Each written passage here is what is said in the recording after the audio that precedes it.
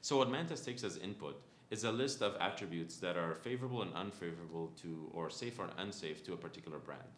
So, and examples of these videos, uh, example videos that contain such attributes.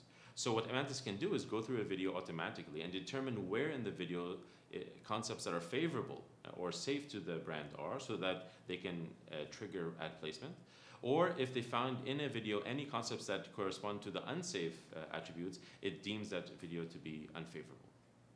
So how Mantis does this is it is able to discriminate between these unsafe and safe attributes on the fly in an automated way by localizing visual cues and visual uh, features that discriminate between the two, two attributes.